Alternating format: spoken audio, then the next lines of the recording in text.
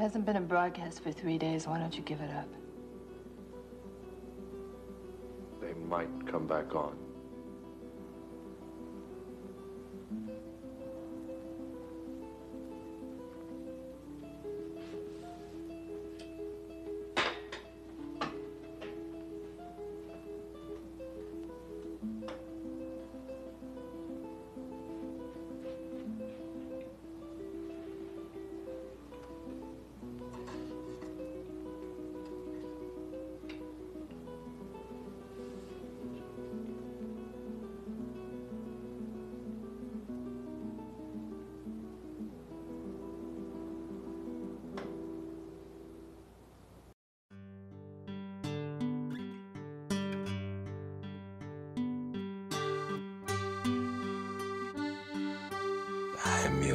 Your ghost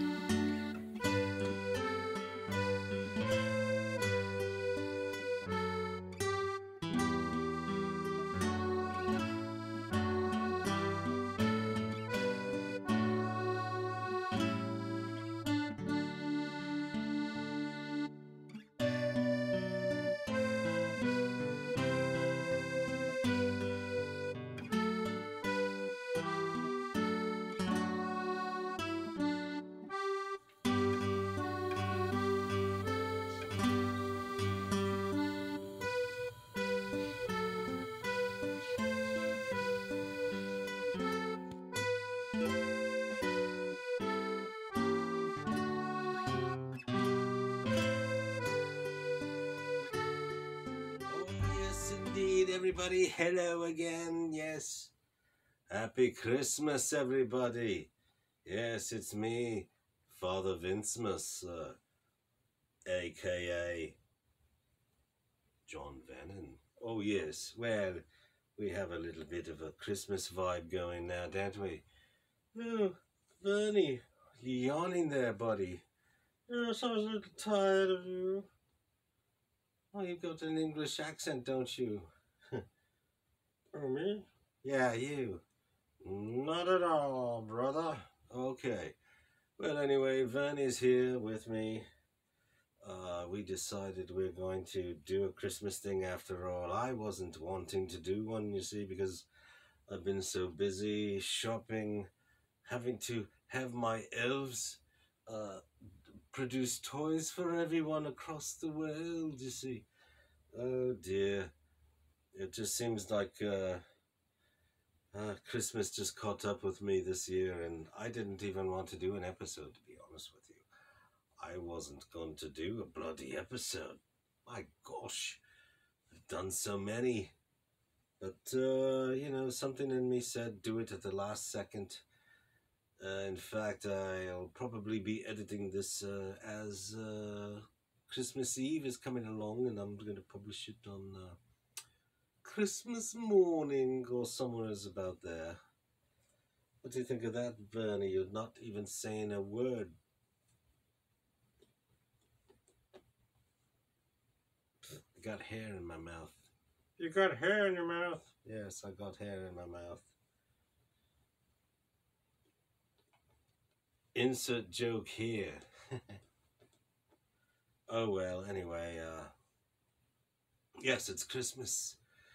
Christmas everyone. I didn't want to do this as I said, but uh, part of the reason was because I didn't have any idea what to do for it.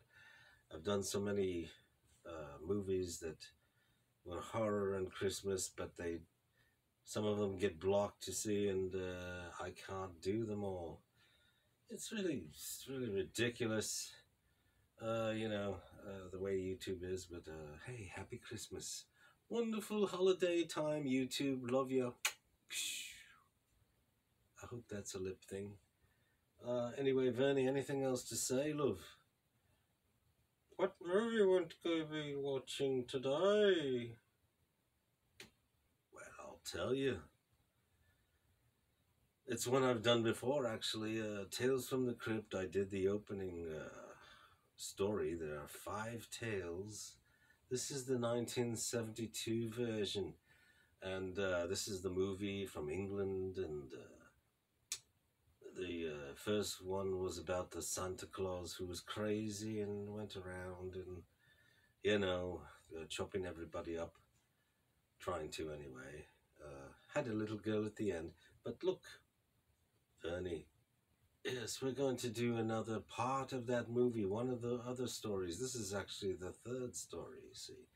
And uh, uh, this story is the one which a lot of people really remember this movie about because uh, it's the one that was kind of advertised a bit, I think, and uh, it has a lot of punch. He's drunk, he's drunk. Oh, he got all drunk. Hey, hey, hey, Vernie, Vernie, stop it. He's drunk, he's drunken. I see you. No, stop. Vernie, stop. I'm not that drunk. Huh. What happened was my Drunk, drunkard, drunkard. what happened was my camera ran out again because I thought I cleared it, and uh, apparently I didn't clear it. So I ran out of space again. But in this case, it's a good thing because now we can get right to the show. The third uh, story. I gotta take this off. That's better. The third story from Tales from the Crypt. And Vernie, you are not allowed to watch this. So, let's start now. The third tale Grimsdyke. By the way, by the way, this is the first time I've You're trying to frighten us in some decided to watch one of these from the chair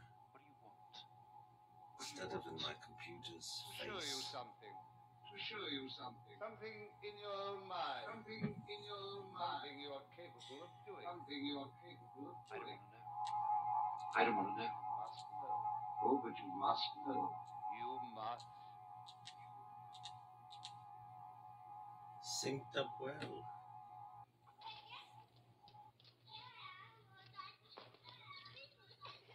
Poor Arthur Grimsdyke.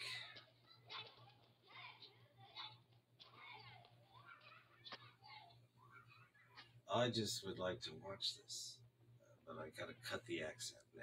Okay. First of all, these Santa Claus are driving me crazy.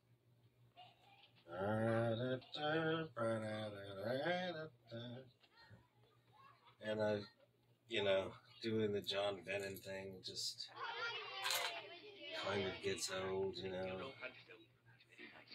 Up with the Santa hat. know some of you have to get home rather soon. There's your dear. Thank you, Mr. Grimsdyke. Now this story, Look at yourself. My wife's name yeah, this was a good Mary one. Helen Oh, by the way, They always call her Helen. It's a nice name. I've got like a, a kind of a flask thing here. Bye bye, Mark. This is like to read. butterscotch. Butterscotch, sort of a f- high brandy. It's like a instead of uh, 80 proof, it's like 90 proof or something. Glowy, Peter. Glowy. Merry Christmas to all, and to all good afternoon, day, lifetime, whatever. Arthur Grimsdyke, the wonderful man of the neighborhood. I'm still talking like usual shell out to the kids. guy. He does it every year on his birthday. I don't know how you stand. Stand what? Living across the road from that man. He's a rubbish collector. A dustman. This is an eyesore. This is an eyesore. The toys he gives those kids, he finds in the rubbish heap and repairs. This is a really, uh, Why doesn't he sell out? it's a, one of the nastier tales. But you know, here's the thing. See, from this movie, by the way, it's me, Vince. Hi. Merry Christmas, Happy New Year, Happy Holiday, all that. Shh. Appreciates the value of our property. Cheers. Inside must be like a pigsty. He owns the place. Nothing we can do about it. Bye bye. See you tomorrow. So, Bye bye. this was a Peter Cushing uh, participation in this segment. Look at those. Oh, wonderful tall roses. Clipping. Isn't there? Uh-oh.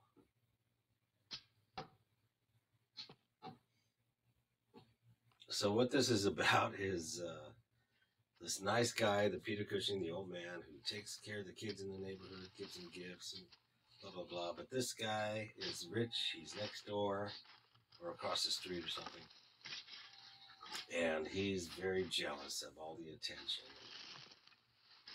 He considers him a nuisance, like uh, he's not worthy of being in the neighborhood. I guess you could say one of those, uh, like we're highfalutin and uh, this guy's trash. He's, you know. And so that's his dad. He's the rich, rich guy. This is the son, What who's just the rich brat. made an awful mess of Mr. Baker's garden. Now, most people in, uh, consider this episode, the third one, uh, or the prize episode, roses. segment, the third segment of the first original Tales from the Grimsdyke's Crypt dogs for sure. 1973 movie. This is too much. Uh, a lot of I'd people make really love this one. I love it. But you mustn't It's it's the classic sort of uh, Tales from the Crypt, Sergeant, please. And it has this you know very a lot of pathos with this poor guy, which actually comes around again in the uh, last segment. There are five segments in this movie. The first one I showed you, the Christmas with Joan Collins and the Santa, crazy Santa Claus and the little girl. And then the second one is sort of the that's the one that's considered the worst. That's the one that is the guy that gets in a he's having an affair or something and gets in a car crash. You know, it, I don't want to spoil any of this really. I don't want to spoil them. And this one I won't spoil. Uh, I was gonna, and I thought, no, I better not. It's a good one. It's one worth seeing the whole movie for. So uh, I thought I'd leave it uh, open ended for you. You can watch it online. So he's he's got a dead wife, I guess. He's lonely. He's a lonely old guy. And apparently he has some dabbling. See, there's a crystal ball. He's got some dabbling in the supernatural. Look at that. That's Peter Cushing. Really great. Did a lot of Dracula movies, the horror ham, horror hammer, hammer horror. Uh, and he was uh, Christopher Lee's nemesis. As Christopher Lee was Dracula. He was Van Helsing. They did a lot of movies together. Look at my glasses. He has those same books. Look at that. Yeah, I found these at a thrift store. So that's it. Is it one of the children? Those are my John Vernon glasses. Happy Christmas, everyone. Grimsdyke's due to retire. I'm back.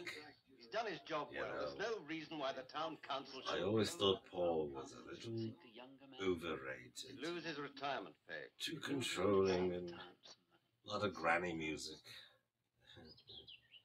he loved that granny music, that Paul. Oh, that Paul, that Paul. La la la la la la. Fa la la la la la la la. Anyway. Yeah, so he did a good job here, Christopher, or not, not Christopher Lee. Peter Cushing. Vernie's right, I am drunk. Vernie, he's asleep on the floor. I do believe he's out of a job. I do believe he's out of a job. Oh, this one gets mean. So, uh, the the the one after this one, a lot of people like also. It's a pretty good one. It's the monkey's paw variation, and it, uh, it's one of the more gruesome uh, segments. This one is kind of gruesome too. This one starts the gruesomeness, I think, really, and then the second one really carries it over or the well, this is the third. The fourth one carries it over, and then the fifth episode is weird because it's it doesn't do the gruesome stuff, but it has social commentary, really heavy. Uh, that's the episode that why a lot of people think that one could be the best one. It depends on your point of view. If you want the gruesome, you know, uh, short, quick, uh, crazy movies, horror. the this, the third one, and the fourth one, and the first one are all good. You know, for just that. You know, just more about jealousy, We and thought it might be greed. neighborly to let you But the last one is more about kind of you social problems and about uh, justice, I what one's children guess. get up to when they're And it of do, it, it could be gruesome, but it, yeah, it chooses not to be, Looking at his hands, sort of which is why it's man argumented, constantly filling in with children. argumentatively Children sort of one that some people think is the best episode. I don't know. Now, don't forget This is one of those movies where it's up to you which one, Mummy, which he's a nice episode. There's five of them, so argue with me. You're not to can see him choose which one is your Why don't you favorite go and and play in stick with it. And don't Doesn't take any more sweets from him. They're all good in their own little ways. Even the second one, which is kind of lame. You but and your Mr. Grimsdyke. It has, I think it has an listen, I don't idea, but it just isn't. Oh, It's not really a fully developed thing, really. And then the wraparound, you know, the the thing about these movies is the wraparounds. So here's what happens. Yeah, No work, no children, Uh, this guy, he, uh, no one to make uh, toys. people are bad naming him, I guess. Never mind. He's got the Mike Nesmith Always uh, little beanie with the ball on the top, but it's blue. But Mike's was blue in like the second Just uh, one second more season. turn of the screw. And he'll sell his property for next to nothing. What's on your mind? Valentine. So his name has been Just disparaged. two weeks away. So? We'll send him Valentines. We'll send him Valentines. Valentine's. Everyone in Oh. town. So his, he's being kind of dragged. The guy spread a rumor about him. Kids don't come around anymore. And he's like, wow, look at this stack of Valentines, and he can't believe it. But watch what happens. Valentine card. You're my only sweetheart. Noisy are children, loud is a bell, pungent is perfume, but you only smell. You only smell. Children, loud a bell, pungent is perfume, but you only smell. That's not good, man.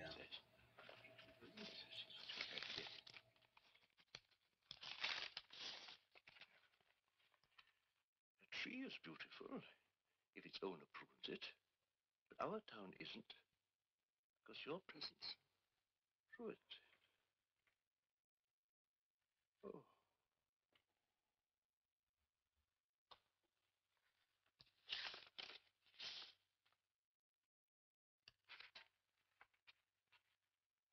People live in the country, some people live in the town. Why don't you do us a service?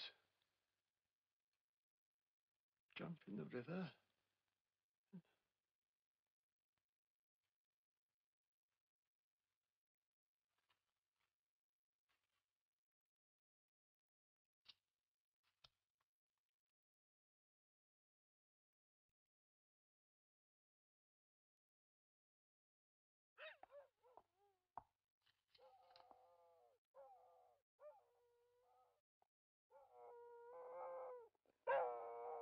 What's Grimsdyke been doing to that mongrel? Hasn't stopped whining for a week. You know, come to think of it, I haven't seen Grimsdyke for days. Not since Valentine's Day.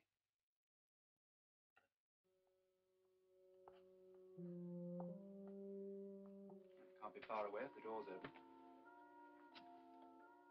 The place is spotless. Vernie, I thought it was filthy. Vernie, Vernie. Hello, I'm fine. I'm good. Alright, here, Vernie, watch this. What? Oh, oh, oh, oh, Oh no, no. Vernie, just watch it. It's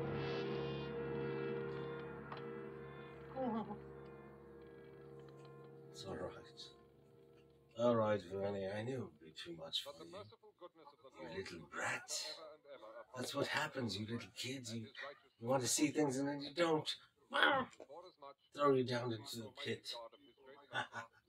Just kidding. He's just down there. Well, let me say this. I have to stop this now. Ah, poor, poor Grimsdyke. But, you know, It was kind of you to remember when he was messing with that It was the least I could do. EG and the Christmas? He was a neighbor. Guess what? I think he's gonna find a way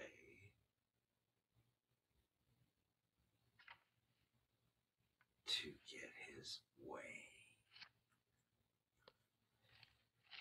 All right, kids, that's enough for me. I'm done. As little Vernie said, uh, yeah, I've been drinking. Yeah, I've been drinking. yeah, been- Santa deserves a nip. but here's the thing. Happy Christmas, Merry New Year, goo goo gaga.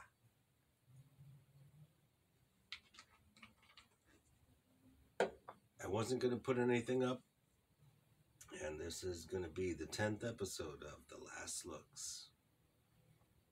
A little bit uh, cuckoo, because that's how this season has been.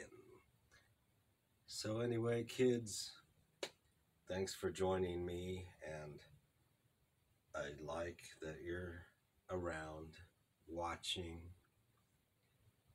I'm trying my best, but this was a holiday. Ac- Actually, I'm going to take January off, okay? January, I need to not do nothing with posting uh, episodes, but I might throw something up there. I have to, right? Just to keep it relevant. But here we go. Tonight tonight. It is Christmas night. But now, actually, guess what? Ding, ding, ding, ding, ding, ding, ding. It is Christmas, Christmas Day. Christmas, Christmas, Christmas Day. Christmas, Christmas, Christmas Day. Christmas, Christmas, Christmas, Christmas. I'm looking at where I need to turn it off. Don't look there, stupid. Here. Oh, here.